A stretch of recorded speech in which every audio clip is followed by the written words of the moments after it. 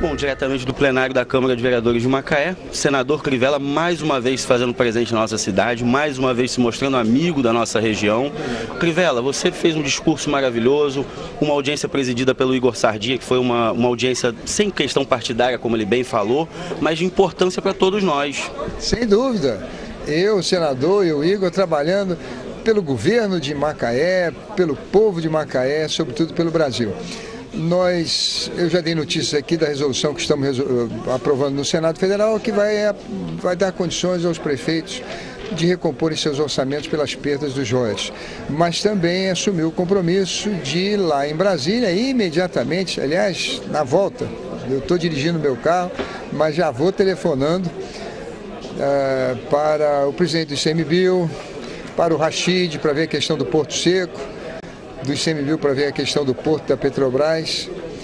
E também uh, mais uma questão que me foi colocada aqui, que é a Infraero, que são manter os investimentos do aeroporto.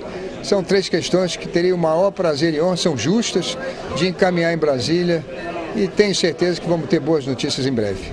Bom, senador, vou te liberar porque eu sei da Obrigado. correria que é para você estar em todos os lugares. Igor, mais uma audiência pública de grande importância, o senador Crivella presente e atuante durante a audiência toda, porque às vezes o senador vem na correria, não. Ele fez questão de chegar e ficar até o fim. Realmente foi exaustivo, mas eu acho que muitas coisas positivas foram discutidas aqui hoje. Não, claro, Pedro. É, até a exaustão vem do fato da gente ter feito uma audiência para permitir que todo mundo que veio aqui pudesse participar da discussão. E como você bem disse, o senador acompanhando tudo a todo momento, anotando, fazendo as considerações. E Pedro, foi o que eu falei agora no encerramento. É, a audiência se preocupou com duas questões. Desde o momento que eu propus aqui a realização da audiência, a gente estava preocupado primeiro em unir porque não vai ser o Igor sozinho, a Câmara sozinho, ou qualquer segmento sozinho que vai conseguir fazer o enfrentamento dessa crise. Ninguém aqui tem a sabedoria para tocar nada sozinho.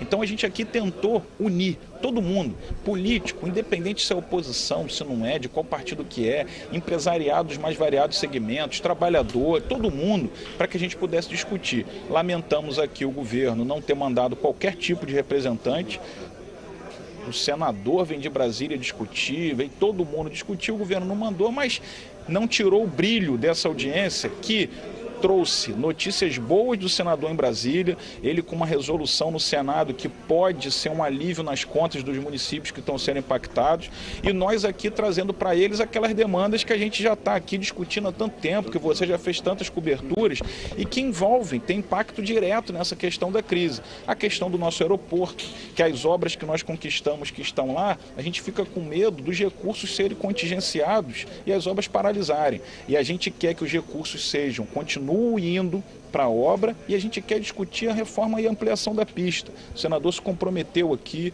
a questão da BR-101, esse trecho, principalmente Macaé e Casimiro, foram todos compromissos assumidos, foram todas questões debatidas aqui, importante para que a gente consiga vencer crise, porque a crise tem a parte de curto prazo, de médio e de longo.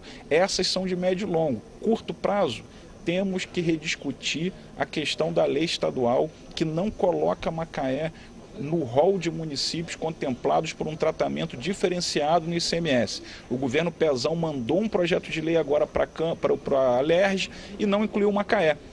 E agora a gente tem que utilizar toda a pressão política para que a Macaé seja incluída. Porque o que, que isso acontece? A empresa que hoje, em meio à crise, está pensando em demitir, se ela tem um alívio no pagamento de ICMS, aquela economia que ela consegue fazer são trabalhadores que ela deixa de demitir. E a gente combatendo então esse desemprego que vem assolando.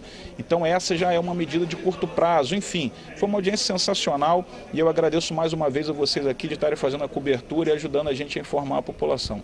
Bom, correto, Igor. Eu que parabenizo a iniciativa, não só sua, também dos colegas vereadores, todo mundo que se fez presente aqui, a ausência do governo, mas também o vice-prefeito esteve aqui, acho que foi importante também. Não veio representante o prefeito, o representando o prefeito, que a gente sabe das dissidências políticas, mas todo mundo se fez presente de alguma forma. Então, diretamente aqui do plenário da Câmara Municipal de Macaé para a TV Litoral.